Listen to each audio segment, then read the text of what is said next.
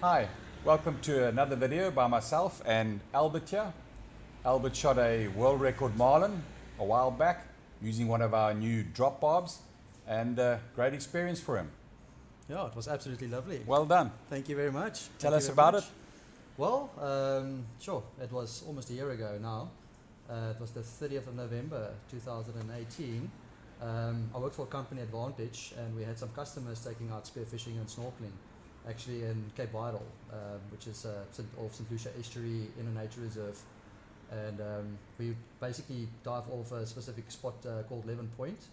And on this particular day, the water was very nice and warm, and um, it was very hot as well. I think it was about 27 degrees, odd degrees or something. Good marlin water.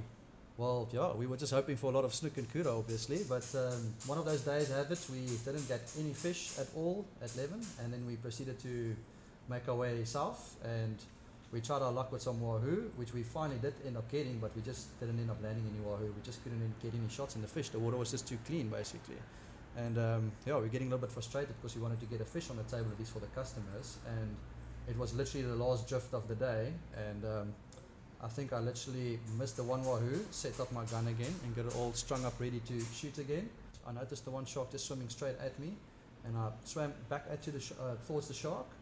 And as I was basically heading towards the surface after interacting with the shark, I just noticed this shape appear at me, and the marlin just basically swam straight up towards me. So yeah, and I didn't give it much time to think really. I just basically used the opportunity because it was the first marlin I've ever seen underwater, and I just took the shot from there. Yeah, great And- shot. Yeah, thank you. I don't know what would have happened if I didn't.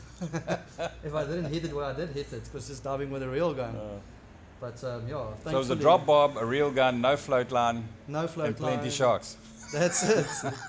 Literally had a bell drill with my 60 or 90 meters of line. I can't even remember exactly how much line I had on, and then I had my just my line on the the gun the gun reel was a 60 meter, uh, and it was a tuna gun um, with two 60 mil rubbers and uh, your drop barb seven and a half mil spear.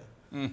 double wrap. And um, your first initial shot, or the first initial shot that I gave it with the drop barb in its head, was more than sufficient to, I would say, to literally land a fish. So I Yeah, you could see the fish was well stunned, Yeah, exactly. Mm. And it held. That barb literally sat in that fish's head. and it's still there now. It's still in there now. I couldn't get it out at all. So yeah, no, Uh, hundred no, well done. Thank you. and you you've got the record much. now to prove it. What was the weight? Uh, it was 374.8 kilos. So No, very nice. I was very happy about that. Well done. Well, Thank there's you. another clip for you with drop barbs. Very successful. I would recommend it definitely.